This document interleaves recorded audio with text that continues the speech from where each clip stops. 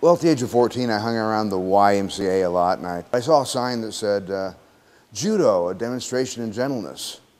As soon as I saw the word judo, I, I knew I wanted to do it. The instructor, a Korean minister, he taught us judo, and uh, we soon, soon, learned how to fall and throw each other, and uh, it was great. I, no one ever had to talk me into it. I just knew I wanted to do it. One day in English class, when I was a junior, a friend, Janet, turned around and said, My cousin's teaching at the YWCA, Kung Fu. Really? So I went down and met my, uh, met my future instructor, Philip Starr, a very personable, personal guy. Uh, and he was teaching in Fairfield at Parsons College at the time. And so invited us down, and we've been training with him ever since.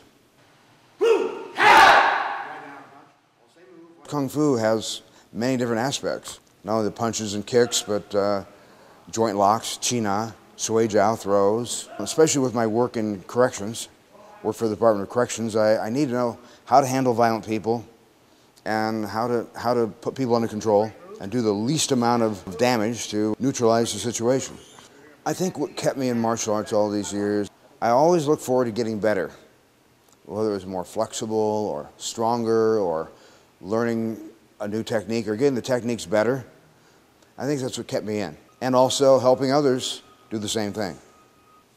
I think the discipline that martial arts provides is greatly underrated today. The positive changes in people's personality due to the discipline that you go through in martial arts is probably one of the most important things, more important than learning to punch and kick, possibly more important than learning to defend yourself.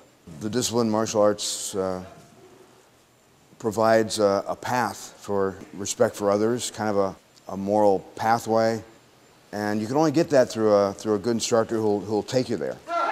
When one first starts in martial arts, they may want to defend themselves or get in shape or compete or just learn the art. There's really no bad reason to start. It's the reason you stay. If you want to improve your life, if you don't want to give up on your, yourself and your body, maybe you want to learn self-defense, Maybe you want to get in shape. Maybe you'd like to be more confident. Maybe you, maybe you do want to compete in tournaments uh, as a sport. But if you really want to improve on yourself and get better, try martial arts. You start slow and gradual, a long-term program that will not only get you in shape and be confident about yourself from learning self-defense, you'll feel better physically and mentally.